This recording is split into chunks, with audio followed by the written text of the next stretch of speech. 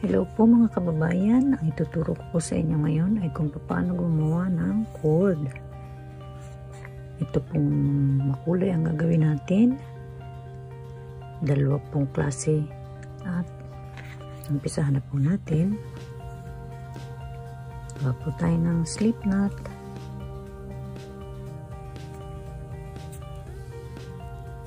Ang hook pala pong gamitin natin is ayan. Yan. Ngayon, itong itong kulay brown. Dito natin sa taas nating kamay. At ito naman pula dito lang sa baba.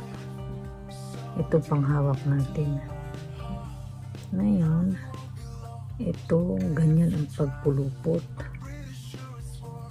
At kunin yung yarn at ito na pula uli. Isuot. Ito ulit pula. Isuot uli.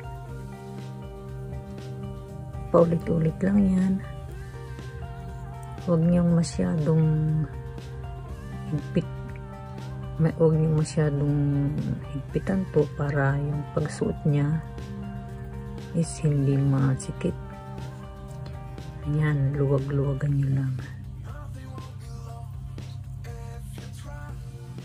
Basta itong ditong yarn at itong yarn magkahiwalay siya. Ang pagsuot nyo is mula harap patalikod kasi minsan nakakalito mula dito. Ganyan ang gagawin. Mali yun. Ganito ang ating gagawin. Mula harap patalikod. Yan.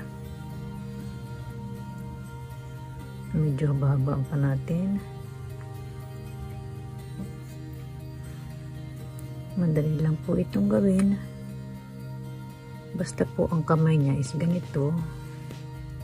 At itong kulay pula dito lang sa baba. At ang hawak niya ay ganyan. Yan, hindi na kayo malilito niyan. Ayan, madali lang po yan, di ba? Pwede natin habaan ng habaan kung gusto niyo. Okay. Ayan At pag gusto niyo nang isara,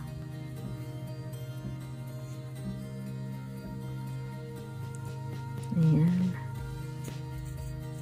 At pwede gupitin na.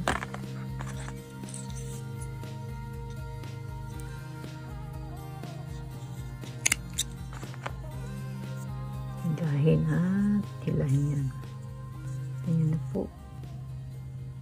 Thank you po for watching and God bless.